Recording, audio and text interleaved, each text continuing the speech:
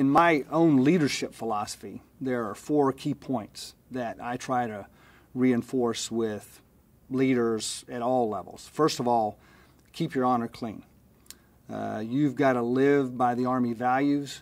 You've got to live by our warrior ethos, and every decision and every act uh, has to be in concert with those values and that ethos. And if you do, you'll always be on firm ground.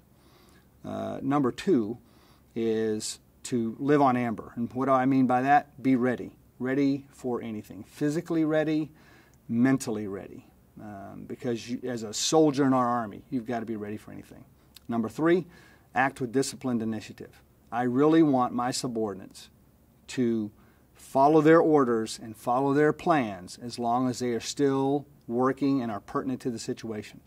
The minute those plans or orders no longer apply, I want them to be some, smart enough to realize that, smart enough to come up with a plan that will work, and then have the guts enough to do it. And then last is to lead by example. And I tell young privates all the time um, a lot of American people, they don't know a corporal from a colonel. They see that uniform, they see that U.S. Army tape, they see a leader, even if you're a private. And I also tell those young privates that back home, there's someone that looks up to them as a leader.